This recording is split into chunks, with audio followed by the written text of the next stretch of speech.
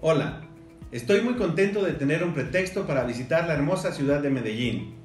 En esta ocasión me interesa compartir con ustedes que estoy muy agradecido con la Fundación Liborio Mejía y con la Universidad Pontificia Bolivariana por permitirme participar en el cuarto Congreso de Insolvencia Económica de la Persona Natural No Comerciante, en el que impartiré una charla para compartir con ustedes la forma en que la legislación mexicana atiende el citado fenómeno.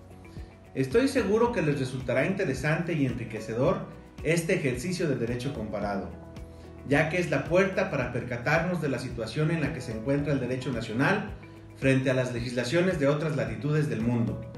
Máxime en el proceso globalizador que llegó para quedarse y que nos obliga a procurar la armonización de las instituciones jurídicas que nos rigen.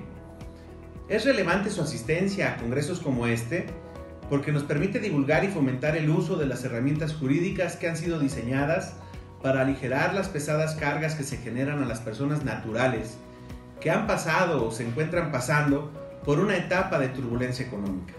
Así que por favor, acompáñennos.